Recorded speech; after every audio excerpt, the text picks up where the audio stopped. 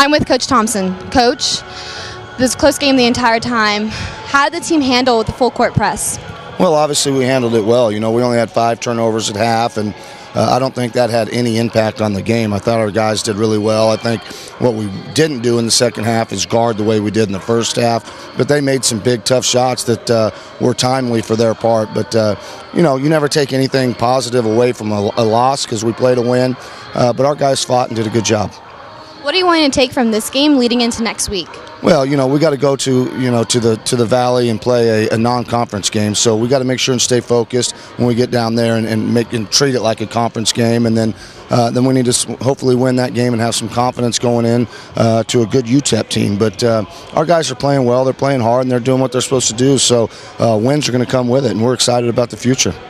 What kind of role is Devin Brown playing for the team, and how how excited is the team to be able to be around someone who was once in their shoes and now went on to bigger things? Well, he's a great guy, and he's doing great things for us without even really doing anything. To be honest with you, just his presence, being around. Uh, you know, he's one of the most famous alumnus from alumnus from uh, UTSA. So uh, any words that he can put into our guys' minds is, is good. He's been around the game and uh, obviously played at a high level for a lot of years, so he knows what it takes, and and our guys respect that for sure. So we're sure proud to have have him around.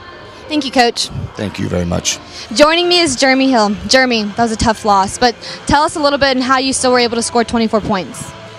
Uh, you know, just playing as a team right now. Um, my fitness is high, so I'm getting up and down the floor well, um, keeping keeping my concentration and finishing shots. So, um, but it's just we're playing as a team now, and there's a lot of opportunities for me to score through our offense. And uh, credit to all the guys for finding me there y'all fought all the way down to the last few seconds. Um, tell me what it, the energy was like on the court.